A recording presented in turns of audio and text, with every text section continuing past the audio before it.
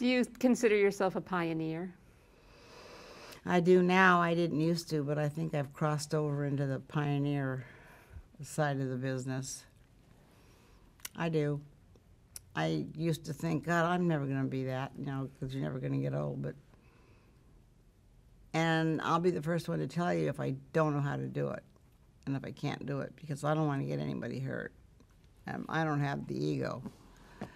So you know, I have brothers to call. I used to have brothers to call. They're dead now, but I have sons to call. I have a lot of friends to call.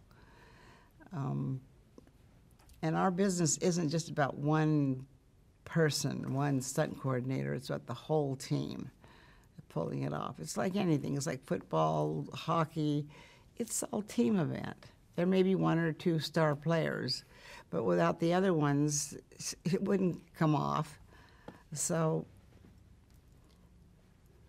I guess just being accepted by my peers to say I was a team player.